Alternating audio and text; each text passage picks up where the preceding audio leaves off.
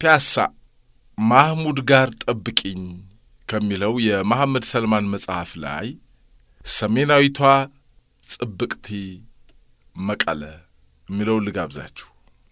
በአስራ ሦስተኛው ክፍለ ዘመን ተቆርቆራ በአጼ ዮሐንስ ዘመነ መንግሥት የገነነችው መቀሌ በሀያ ስምንት ስኩዌር ኪሎ ሜትር ላይ ተዘርግታ ሁለት መቶ አስር ሺህ ነዋሪዎችን ታቅፋ ከሸገር ሰባት መቶ ሰማንያ ኪሎ ሜትር ርቃ የምትገኝ ቆንጆ ከተማ ናት። ለነዋሪዎቿ ትግርኛ ቋንቋ መግባቢያ ይሁን እንጂ አማርኛ በከተማው በስፋት ይነገራል።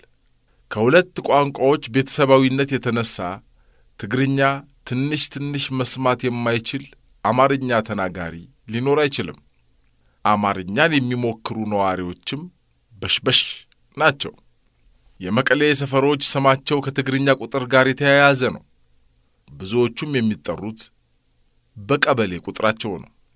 ዜሮ ሓደ ዜሮ ክልተ ዓሰርተ ሸዓተ ዓሰርተ ሸመንተ እያለ ይቀጥላል።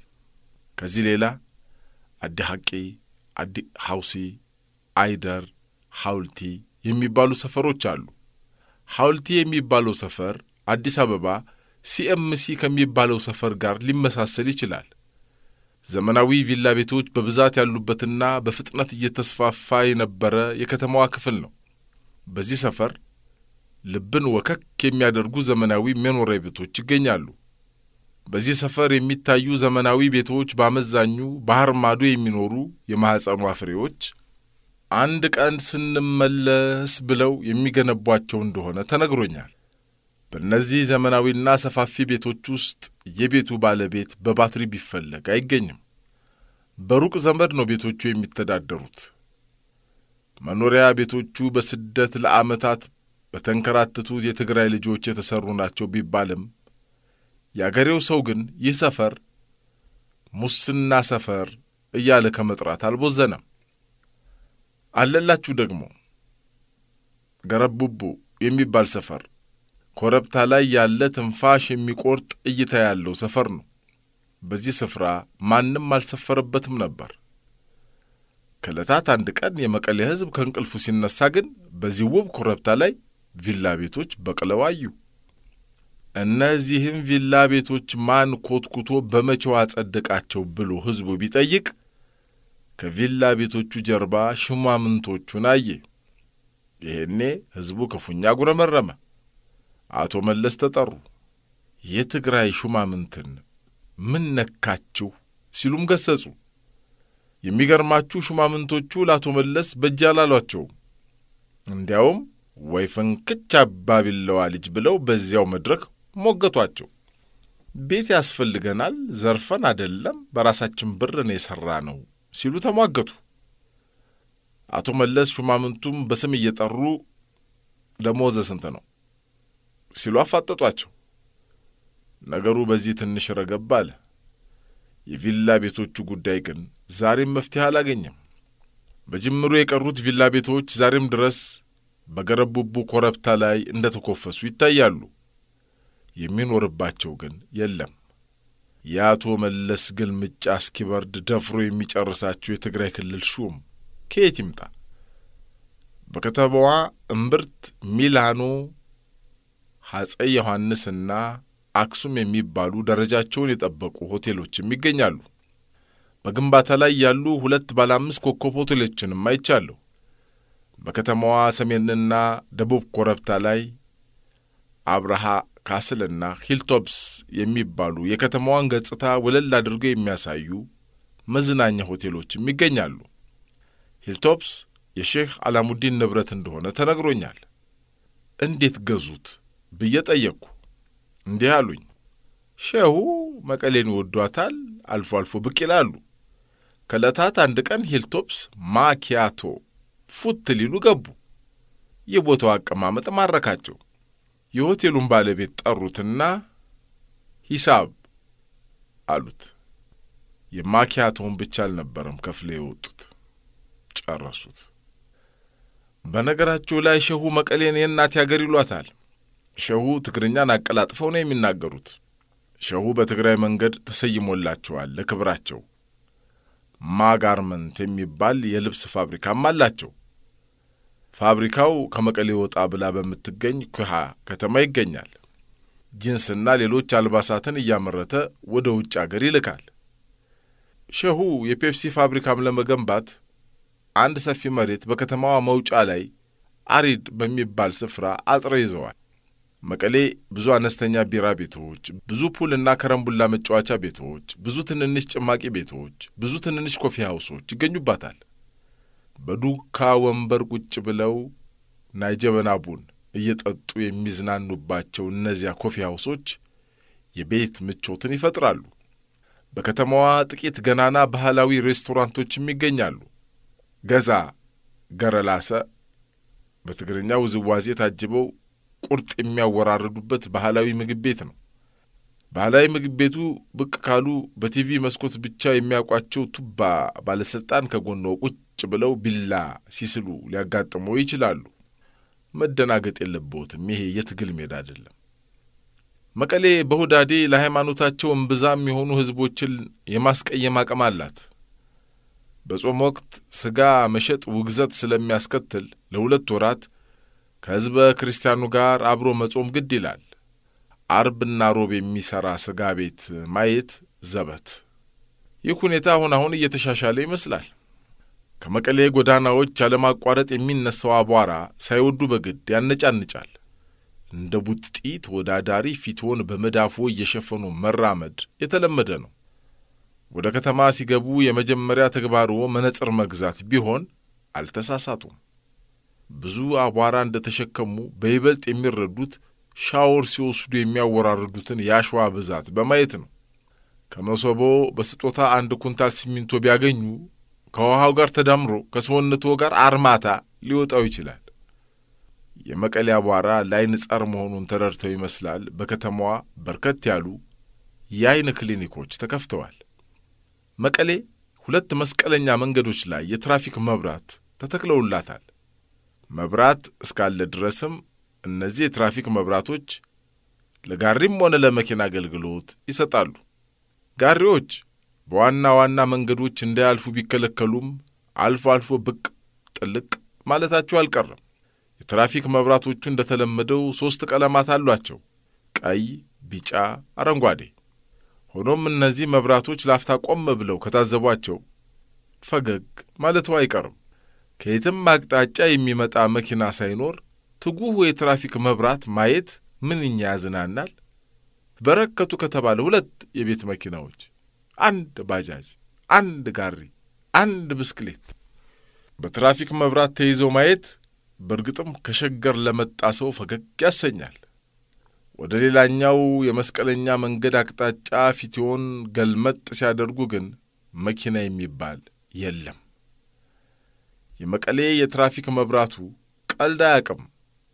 ተራውን የመጠበቅ ግዴታውን ይጥልብዎታል፣ ተረኛ እንኳን ባይኖር። ሌላ መቀሌ እስከ ዛሬ ካየኋቸው ከተሞች ሁሉ ለቃላትና ሆሄያት ግድ የሌላት ከተማ ሆና አግኝቻታለሁ። በተለይም ለአማርኛ ለሆሄያት ግድፈት ቅንጣት ትዕግስት የሌለው ሰው ይህቺ ከተማ ጥሩ መዳረሻው አትሆንም። ምናልባት ፈገግ ካሰኛችሁ በማስታወሻ ደብተሪያ ያስቀረኋቸውን ጥቂቶቹን ላካፍላችሁ። ሞባይል ቀፎ እንሸጣለን፣ ካራምቡላ እናጫውታለን፣ ሞባይል ካርድ አሎ፣ ቆፎ ንጥግናለን፣ tele center ስልክ ቤት፣ ኤሜይል እንከፍታለን፣ ባለማጮሶ እናመሰግናለን፣ pool እንጫወታለን እናጫውታለን መሆኑ ነው። ሌላም ጎዳና አሉላ በሚባለው መንገድ ላይ ሙዚቃ ቤቶች ይበዛሉ። ከዚያ ስፍራ ብዙ የኤርትራ ድራማና የፈረንጅ ፊልም ይሸጣል፣ ይከራያል። በዚህ ጎዳና የሚገኙ ሦስት ሙዚቃ ቤቶች Prison Break የተሰኘውን ፊልም ማስመጣታቸውን ለመግለጽ የፊልሙን ርዕስ ጽፈውት የነበረው በዚህ መልክ ነበር። የመጀመሪያው ቤት ፓርሰን ብሪክ አስገብተናል ይላል። ሁለተኛው ቤት Price Break አለን ይላል። ሦስተኛው ሙዚቃ ቤት ፕራይሰን ብሬክ ክፍል አስራ አንድ አሎ ይላል። ሦስቱ ሙዚቃ ቤቶች መሳሳታቸው ገርሞኝ ነገሩ ገበያ ለመሳብ ሆን ተብሎ የተደረገ ይሆን እንዴ ብዬ እስከ መጠርጠር ደርሼ ነበር። ጉና ስፖርት ክበብ ውስጥ በትልቁ እንዲህ ተጽፎም አይቻለሁ። ጉና ስፕሮት ክለብ። ብዙዎቹ የመቀሌ ድርጅቶች ከትግርኛ ይልቅ በአማርኛ ማስታወቂያ መለጠፍ ይቀናቸዋል። ሁለቱም ቋንቋዎች ከሴማዊ ግንድ የፈለቁ መሆናቸው የመቀራረብና የመወራረስ ዕድላቸው ሰፊ ያደርገዋል። ለዚህ ይመስለኛል ቃላቱን የሚናገሯቸው ያህል ሲጽፏቸው የመሳሳት ስሜት የማይፈጥሩባቸው። ሆኖም ከተማዋ በእንግሊዝኛ ቃላት ጭምር ኬሬዳሽ መሆኗን የቱሪስት ፍሰትን ይጨምርላት እንደሆነ አላቅም። ፈረንጆች እንዲህ አይነት ክስተቶች ያዝናኗቸዋል። የከተማዋ ቁጥር አንድ coffee house ስታርባክስ በሚል ራሱን ይጠራል። ከደጁ በእንግሊዝኛ ስሙን የጻፈው ግን ስታር ባክስ የሚል ነው። ሬስቶራንት የተሰኘው ቃል በትክክል የተጻፈበት ቤት በከተማዋ ማግኘት ልክ የቧንቧ ውሃን በከተማዋ እንደ ማግኘት አዳጋች ነው። በነገራችሁ ላይ የመቀሌ ቧንቧ ጠብ የሚል ውሃ የለውም። ብዙ ሰፈሮች የቧንቧ ውሃ የሚያገኙት በወራት ፈረቃ ነው። ቧንቧዎቹ ውሃ ሲያፈሱም ጨዋማ ስለሚሆኑ የመቀሌ ውሃ ለእንግዳ ሰው ብዙም አይማርክም። ወደ ሆሄያት ግድፈት እንመለስ። የሚቀመስ ለማግኘት ሀበሻ joyful village የተባለ ምግብ ቤት ገባሁ። ሜኑ ቀረበልኝ። ሀያ ሰባት የሚሆኑ የምግብ ዝርዝሮች ተጽፈዋል በእንግሊዝኛና በአማርኛ። ሀያ አንዱ ላይ የሆሄያት ግድፈት አግኝቼበታለሁ። ጥቂቶቹን ላካፍላችሁ። የአታክልቲ ሹሩባ የአታክልት ሾርባ ለማለት ነው። ሽሮ ፈሰሰ ሽሮ ፈሰስ እንደማለት። አሳ ጥበስ አሳ ጥብስ። ዶሮ ጥበስ ዶሮ ጥብስ ለማለት። እስቲክ ስቴክ ለማለት። በነገራችሁ ላይ እንደ አብዛኞቹ የአገራችን ሬስቶራንቶች ሁሉ በዚህ ምግብ ቤትም የእንግሊዝኛው የምግብ ዝርዝር ላይ ከተጻፉ የምግብ አይነቶች የቃላት ግድፈት የሌለባቸው የምግብ አይነቶችን ማግኘት እ ከባድ ነው ከባድ ነው መኖር ያላንቺ ከባድ ነው መኖር ካንቺ ጋር በአዲስ አበባ አንድ ጎረምሳ ወደ አንድ ኪዮስክ ጠጋ ብሎ እስኪ ሲጋራ ስጠኝ ይላል። በመቀሌ አንድ ኮበሌ በአቅራቢያ ወደሚገኝ አንድ ፎቶ ቤት ሄዶ እስኪ ናይመለስ ፎቶ ሀብኒ ይላል። ሁለቱም የጠየቁትን ያገኛሉ። በመቀሌ አንድ የአቶ መለስ ዜናዊ ጉርድ ፎቶ ከሁለት ዓመት በፊት መጽሐፉ የታተመው 2004 ዓመተ ምህረት ነው። በአንድ ብር ከ50 ሳንቲም ይሸጥ ነበር። አሁን ኑሮ ተወደደና ሶስት ብር ገብቷል። ፎቶው ላይ ያሉት ሰውዬ ግን ለኑሮ ውድነቱ ተጠያቂ አይደሉም። አቶ መለስ በመቀሌ ተወዳጅና በሽበሽ ናቸው። የትም ይገኛሉ። ነዋሪው ሲወጣ ሲገባ ያያቸዋል፣ ያደንቃቸዋል። ኑርልን፣ እንወድሃለን ይላቸዋል። ለምሳሌ መቀሌ ውስጥ የእርሳቸውን አንድ ፎቶ ያለጠፈ ፎቶ ቤት ማግኘት ዘበት ነው። በፎቶ ቤቶቹ እየተገላለጡና እየተሽኮረመሙ ፎቶ የተነሱ የትግራይ ውብ ሞዴሎች ፎቶዎቻቸው በፍሬም እየተደረገ ደጅ ይሰቀልላቸዋል። አቶ መለስ በእነዚህ ውብ ሞዴሎች መሃል ድንገት ሾልከው ይገባሉ በቆረጣ። የትም ያላየኋቸውን የአቶ መለስ ፎቶዎችን መቀሌ ፎቶ ቤቶች ውስጥ ተሰቅለው አይቻለሁ። ደግሞም ሰውየው ፎቶ ይዋጣላቸዋል። ፎቶ ጄኒክ ሳይሆኑ አልቀረም። የመቀሌ ሕዝብ ባይኑና በመለስ እንዲመጡበት አይሻም።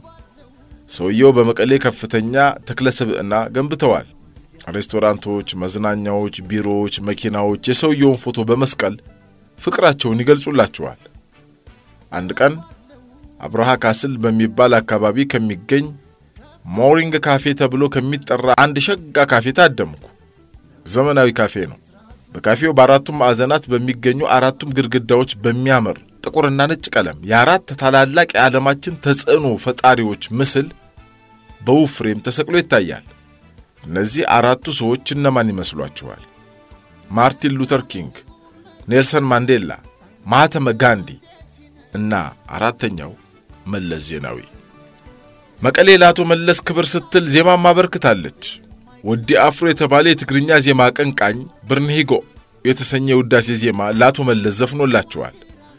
በዚህ ዜማ አቶ መለስ ራሳቸው በሐውልቲ አዳራሽ ነጠላ ጣፍተው ድንቅ ተወዛዋዥ እንደሆኑ አስመስክረውበታል።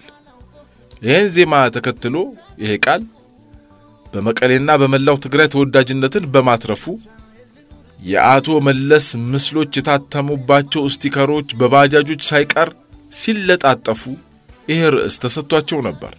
ቲሸርቶች ተበትነዋል። በመቀሌ የቀን መቁጠሪያ ሲታትም የአቶ መለስን ምስል ይዞ ነው። የመላእክትን ምስል እያዞሩ የሚሸጡ ትንንሽ ልጆች የአቶ መለስን ምስል ብትጠይቋቸው ይሸጡላችኋል፣ እንዳደነግጡ። በነገራችን ላይ ብርኒሂጎ ማለት የመስቀል ወፍ እንደማለት ነው።